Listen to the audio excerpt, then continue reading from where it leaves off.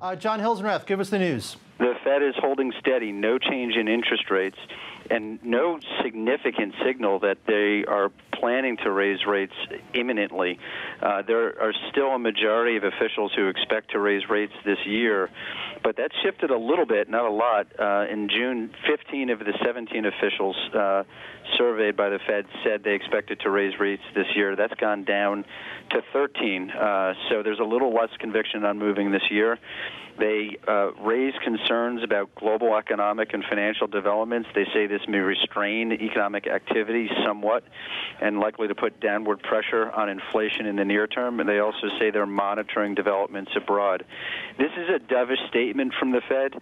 Uh, they're not raising interest rates and they're not sending a strong signal that they want to raise interest rates imminently. Jon, did we get any sense from them about what they think about the U.S. economy? Well, the U.S. economy is on stronger footing. They, you know, in particular the labor the labor market. They say the labor market has continued to improve, and there's solid gains in, in jobs and declining unemployment, and they're seeing diminished uh, uh, slack in the economy. They're not worried about that. What they're worried about is uh, persistently low inflation. They've put out new projections on inflation going out to 2018. They don't see themselves hitting the, their inflation target until 2018, and that's one of the things that's giving them pause right now. Wow. Uh, Jon, Austan Goolsbee is in Chicago, and he has a question for you. Austan.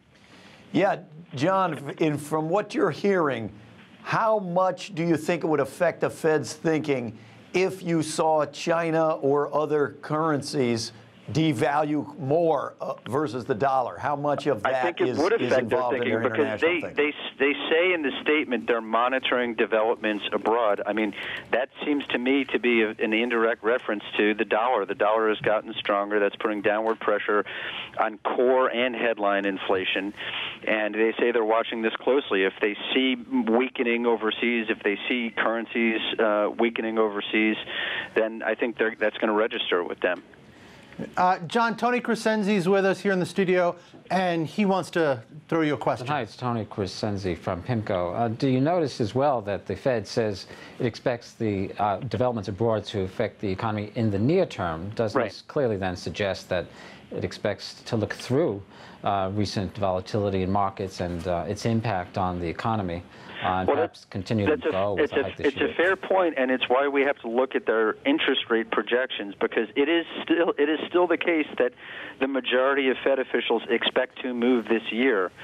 But I think you we have to acknowledge when we look at the changes on the margin and what they're saying today, there's less conviction on that point. It used to be 15 of 17 officials, now it's 13 of 17 officials. They do think that uh, they do appear to think that these pressures from overseas and market developments will subside in the near term, uh, and they say it could affect economic activity somewhat. There's not, you know, a great deal of worry about this, but it's it's on the radar screen, um, and it is a potential impediment if it doesn't subside. Yeah. Okay, uh, Jon. I know you have to write your leader, so we'll let you go. Thanks a All lot. Right, thanks, guys. Bye.